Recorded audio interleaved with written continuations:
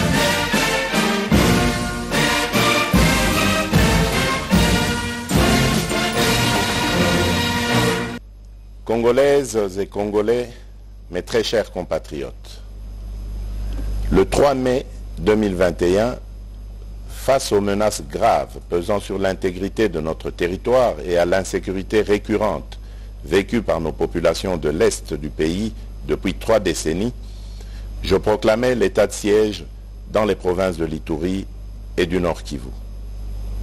En effet, conformément à mes prérogatives consacrées par les articles 69, 85, 144 et 145 de la Constitution, je recourais à ce dispositif exceptionnel de gouvernance afin de répondre de la manière la plus appropriée et la plus adaptée à cette situation, en ce particulièrement dans la nature des actions à entreprendre dans ces zones opérationnelles où les ennemis de la paix devaient de toute urgence être affrontée et l'autorité de l'État restaurée. À situation exceptionnelle, mesure exceptionnelle. Il demeurait limpide que la mise en œuvre de ce dispositif s'accompagnerait d'un régime restrictif des libertés publiques, non sans incidence sur le mode de vie habituel de nos populations, immédiatement sensibilisées à consentir à d'importants sacrifices en guise de soutien patriotique à cette lutte pour la survie de notre nation. C'est pourquoi, deux années et quatre mois après l'entrée en vigueur de, ce régime d'exception aux conséquences tout aussi exceptionnelles sur le quotidien des populations sur terrain, et à la suite de plusieurs rencontres avec des sénateurs, les députés nationaux et les députés issus des deux provinces, ainsi que des rapports de mission d'évaluation effectués par le Premier ministre, j'apercevais clairement le besoin d'une réflexion approfondie dans tous les acteurs concernés sur la question en vue d'obtenir les recommandations les mieux indiquées au sujet de la situation juridico-politique rencontrée dans ces deux provinces. Cette réflexion devait toutefois avoir lieu tout en veillant à préserver les avancées significatives socio-économiques, politiques et sécuritaires acquises par la gouvernance militaire de l'état de siège. Face à la prolongation de cette situation exceptionnelle et soucieux de prendre en compte les aspirations profondes du plus grand nombre de forces vives de la partie est de notre pays, j'ai donc instruit le Premier ministre d'organiser est de convoquer une table ronde politique sur l'évaluation de l'état de siège dans les provinces de l'Itourie et du Nord Kivu, organisée du 14 au 16 août 2023 à Kinshasa. Cette table ronde que j'ai voulu inclusive a connu, en plus de la participation des élus nationaux et provinciaux issus des provinces concernées, des délégués des institutions nationales, la participation active des forces vives d'autres provinces de la République, ce qui témoigne de l'élan de la solidarité affichée par les Congolaises et Congolais de tous bords derrière cette cause nationale. Mes très chers compatriotes, mus d'un sens élevé de patriotisme et de responsabilité, les différents participants ont travaillé d'arrache-pied durant les trois journées allouées à cette table ronde pour proposer une option concertée en vue de pacifier définitivement les provinces de l'Itourie et du Nord Kivu, et ce, au regard de l'évolution du contexte sécuritaire, politique, économique et social.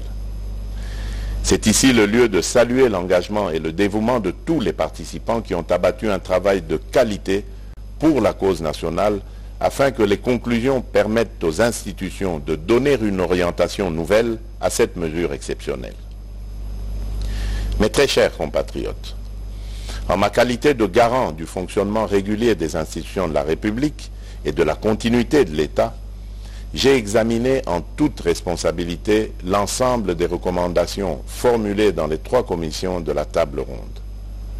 Après avoir échangé avec les responsables des institutions de l'État et entendu le Conseil supérieur de la défense, j'ai pris la ferme résolution de conduire, sans atermoiement funeste, mais sans précipitation inconsidérée non plus, les populations des provinces de l'Itourie et du Nord Kivu vers un allègement progressif et graduel du régime de restriction de l'état de siège avec les meilleures garanties de poursuite du maintien d'une pression maximale sur les ennemis de la paix. C'est pourquoi, prenant la juste mesure de l'impérieuse nécessité d'un retour sécurisé de nos populations à une vie civile et citoyenne normale d'une part, et des avancées enregistrées au cours de la gouvernance sous l'état de siège d'autre part, notamment l'amélioration de la situation sécuritaire dans certaines zones des deux provinces concernées, j'ai opté en toute responsabilité pour la mise en œuvre d'un dispositif transitoire graduel au terme duquel cette situation exceptionnelle devra connaître sa fin.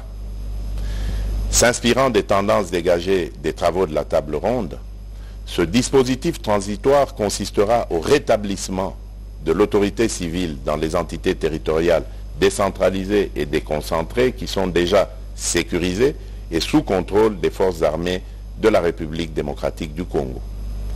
Ce qui implique la levée des restrictions des libertés constitutionnelles de tous les citoyens et plus particulièrement la libre circulation des personnes et de leurs biens en mettant fin au couvre-feu, la liberté d'association, de manifestation pacifique et de réunion dans le strict respect des conditions légales.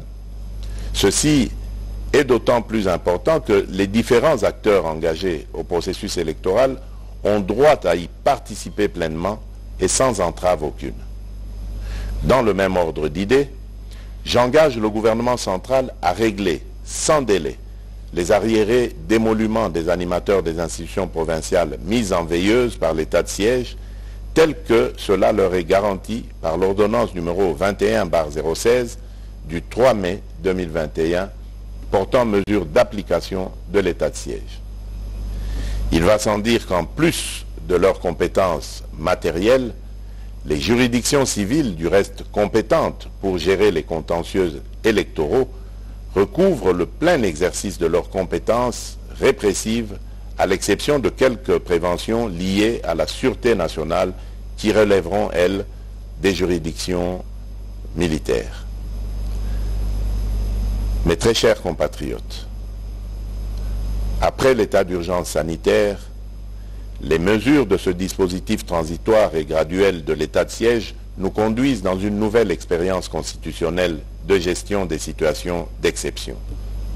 Elle marque notre détermination à défendre jusqu'à la dernière énergie notre intégrité territoriale, notre souveraineté et notre dignité comme peuple.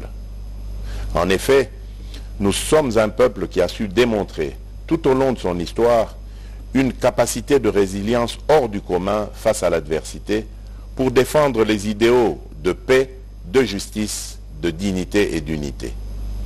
J'invite la population des provinces de l'Itourie et du Nord Kivu à accompagner et à soutenir les autorités civiles et militaires dans l'accomplissement des mesures de ce nouveau dispositif en vue de garantir l'avènement d'une paix durable sur toute l'étendue de notre pays.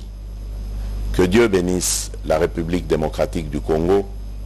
Je vous remercie.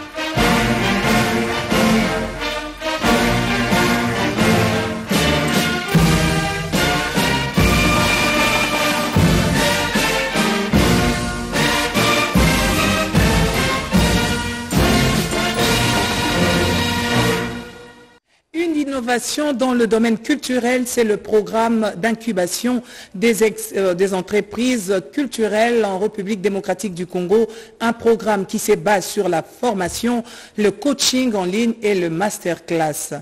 Une information livrée au cours d'un point de presse réalisé à Kinshasa. C'est parti pour le programme d'incubation des entreprises culturelles en vue de booster l'esprit créatif des acteurs culturels une opportunité offerte par Cowboy B dévoilée au cours de ses points de presse animés au centre Wallonie-Bruxelles de Kinshasa. Le projet, c'est un projet de formation en fait qui s'adresse à tout opérateur culturel euh, congolais, euh, dans un premier temps basé à Kinshasa, puis l'année suivante ce sera Lubumbashi, et puis dans trois ans ce sera euh, dans les provinces de, l'Est.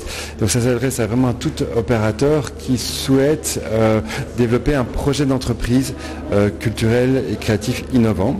Et donc, avec nos partenaires, nous sommes là pour l'accompagner et pour lui donner les éléments de connaissance, de savoir-faire, de savoir-être, qui lui permettra en fait d'être euh, plus, efficace en fait dans la mise en œuvre de son projet. Un programme de formation qui est essentiellement basé en fait sur le, renforcement des capacités de gestion, de vision stratégique des porteurs de projets.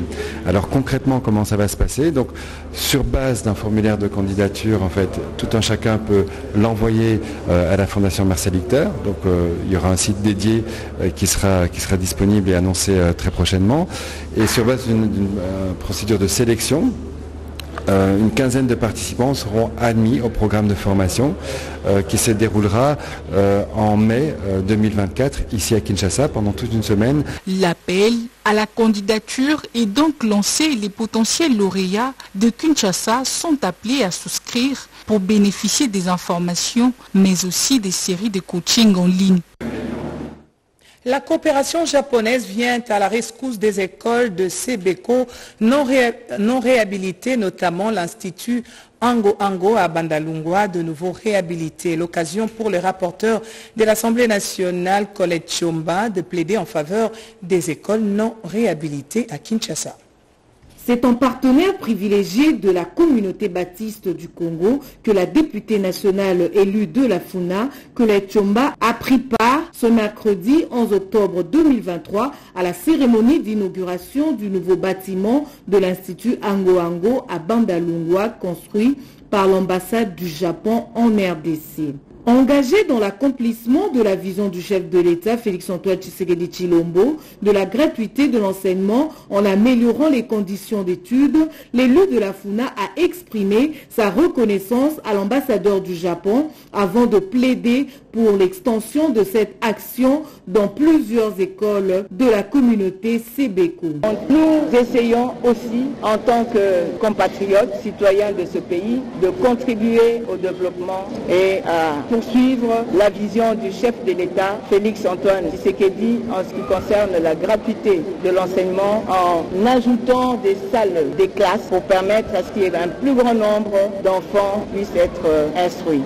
Dans son discours, la rapporteure adjointe de l'Assemblée nationale a félicité le dynamisme du préfet de l'Institut Ango Ango dans l'aboutissement et ce bâtiment, avec un sens développé d'altruisme philanthrope en faveur des élèves. Colette s'illustre en plusieurs actions en faveur de la communauté Sebeko. Lors de cette activité, elle a manifesté son souci de voir les écoles de cette communauté être équipées en bâtiments, bancs, manuels didactiques et autres. Cap sur les provinces, la prison de Walikale dans le nord Kivu est de nouveau desservie en eau potable. Le chef de secteur de cette entité administrative, Dr Akilimani, est intervenu personnellement un mois après une panne déclarée et saisit l'occasion pour poser la première pierre pour la construction de la morgue de l'hôpital de référence du territoire de Walikale. La prison centrale de Bukavu sera transférée à Kachoucha dans le territoire de Kabaré afin de résoudre le problème de la surpopulation carcérale à travers la RDC et le Sud Kivu en particulier. La cérémonie de la pose de la première pierre a eu lieu ce jeudi 12 octobre à Kachoucha. C'est le gouverneur du Sud Kivu, Théongo Bijekassi, qui a lancé officiellement les travaux de construction des bâtiments composés entre autres d'un bâtiment pour les détenus avec une capacité d'accueil de 3000 détenus, deux salles d'audience foraine, un bloc VIP avec des appartements de visite conjugale, l'hôpital et autres bâtiments connexes. Pour son Excellence Félix Antoine Tshisekedi Chilombo, nos prisons doivent cesser d'être considérées comme des bois, mais plutôt comme des maisons de rééducation en vue de la réinsertion sociale à l'expiration de la peine.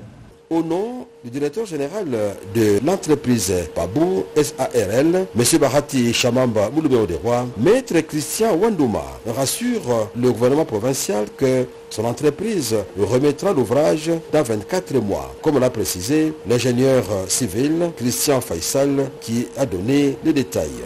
La politique, c'est d'avoir une prison moderne qui réponde aux normes sécuritaires et aussi aux normes écologiques et sociales pour dire que nous aurons une prison, ici moderne.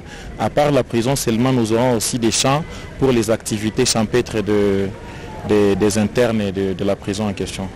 Le ministre national de la Justice a été représenté par le secrétaire général. Ce dernier salue la volonté du chef de l'État, Félix Antoine Tshisekedi Chilombo, de moderniser le milieu carcéral construit depuis 1960. Il a exhorté aussi les autorités locales de faire le suivi régulier, mais aussi la société Pabou de respecter le contrat. La dite cérémonie a connu la participation de plusieurs autorités de la province, notamment le président de l'Assemblée provinciale, les membres du Conseil de sécurité et autres. Pour améliorer la qualité de l'enseignement des sciences de l'information et de la communication, un studio école a été construit au profit des futurs journalistes. L'inauguration de ces studios écoles est intervenue ce vendredi 13 octobre 2023.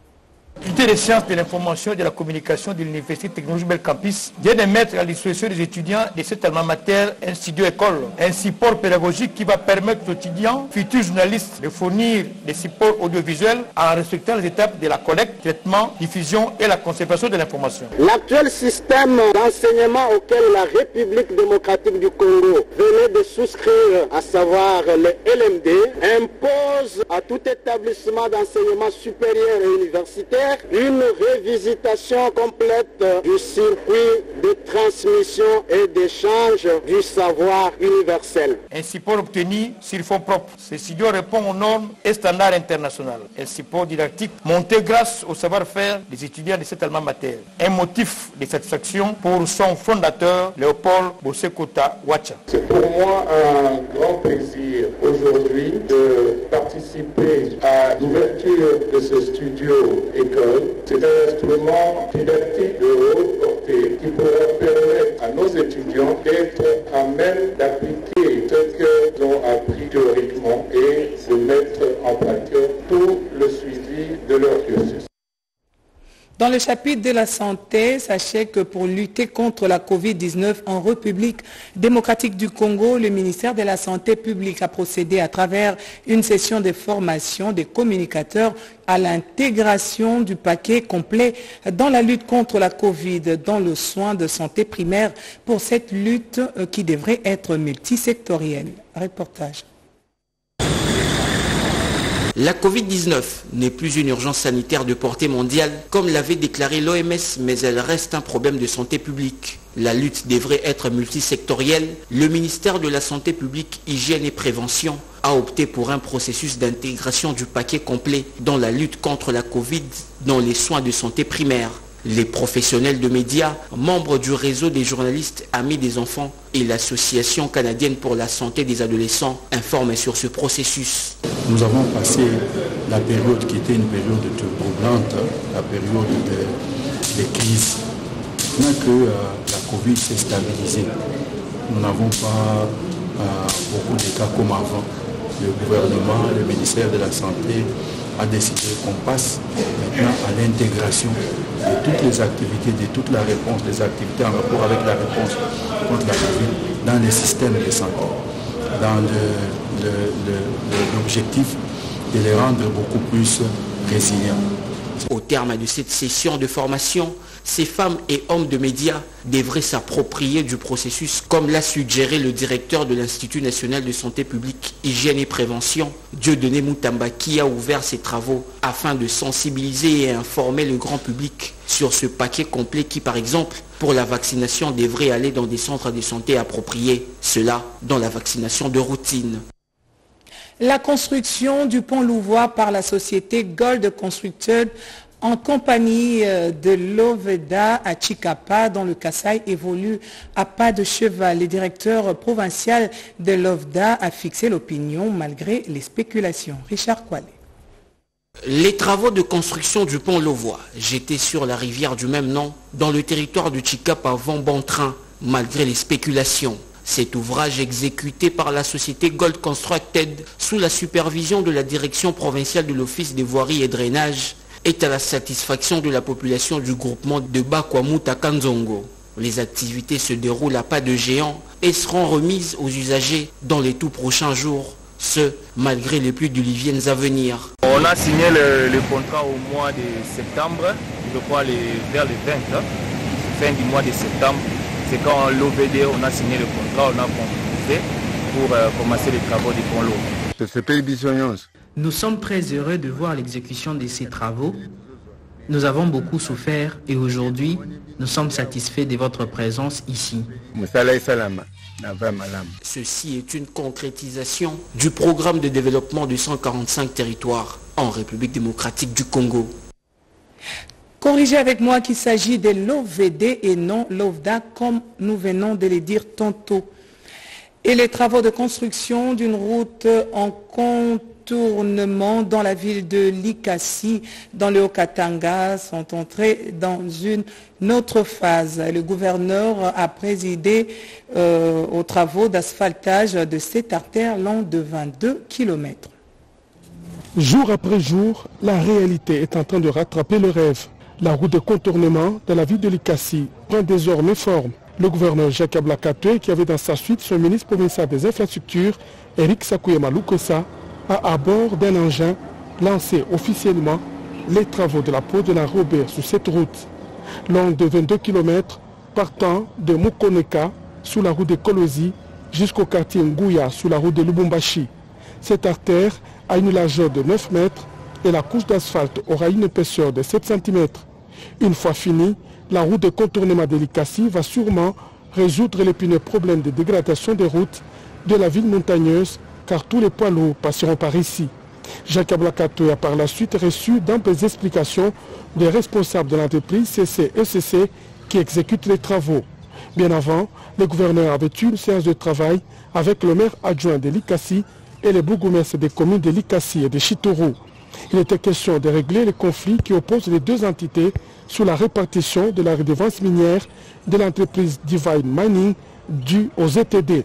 Un consensus a été trouvé et toutes les deux parties ont signé les PV de conciliation. Là où il y avait des couacs, le compromis a été trouvé sous la direction du gouvernement. Tout le monde a signé sur le PV. Donc, et le bourgmestre de la commune de Chituru et le bourgmestre de la commune de Likasi et nous tous qui étions présents.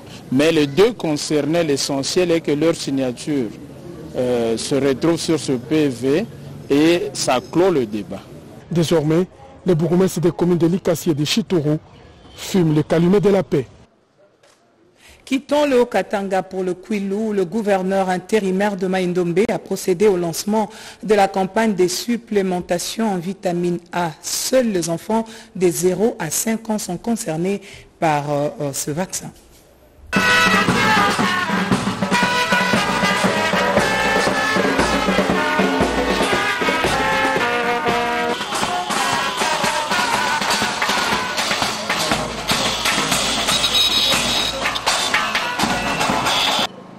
Ainsi, je lance officiellement le début des journées nationales de vaccination dans la province du Maïnomi. Nous venons de lancer aujourd'hui officiellement la campagne de vaccination contre la poliomyélite deuxième round. En fait, le pays, avec, euh, avec ses partenaires de l'initiation de l'éradication de la poliomyélite, organise des ripostes vaccinales dans tous les pays qui concernent toutes les 26 provinces. Et au mois d'août dernier, nous avons organisé le premier passage qui a concerné la même cible de 415 315 enfants de 0 à 59 mois. Et aujourd'hui, nous venons de lancer le deuxième round qui part du 14, du 12, pardon, au 14 octobre 2023 dans toutes les l'étendue de notre province. Nous demandons à tous les parents et les gardiens d'enfants de recevoir pendant ces trois jours nos prestataires qui vont passer de porte à porte pour vacciner les enfants de 0 à 59 mois. Et dans les Kassai orientales, le lancement de la campagne de vaccination contre la poliomyélite s'est fait des porte à porte, une stratégie efficace pour lutter contre ces fléaux. C'est le gouverneur intérimaire du Kassai oriental qui a donné le go de cette activité. Toto Céleste Songo pour plus de détails enfants pour en finir avec la polio, tel est le thème de cette campagne de porte-à-porte qui a duré trois jours et vise à vacciner 1 303 102 000 enfants de 0 à 59 mois dans les 19 zones de santé. À cette occasion, la gouverneure intérimaire Julie Kalinga a invité tous les parents de son entité à faire vacciner leurs enfants ayant l'âge recu. Par la même occasion, Julie Kalinga a vacciné 51 enfants dont l'âge varie de 0 à 59 mois, dont 33 filles. C'est pour répondre au plaidoyer mené par l'Initiative mondiale pour l'éradication de la polio à la campagne passée que l'autorité provinciale a coordonné et s'est impliquée totalement dans la mise en œuvre des engagements de Kinshasa sur l'éradication de la polio et la promotion de la campagne contre la poliomyélite. Le numéro 1 de la province du Kassai oriental a effectué sa descente sur terrain avec toutes les parties prenantes en vue de sensibiliser la population à protéger les enfants contre la poliomyélite et aussi sensibiliser les fidèles contre cette maladie. Nous sommes venus pour parler de la vaccination pour que vous puissiez vacciner les enfants dont l'âge varie de 0 à 59 mois, dont 33 filles en vue de lutter contre la poliomyélite dans la province du Kassai oriental.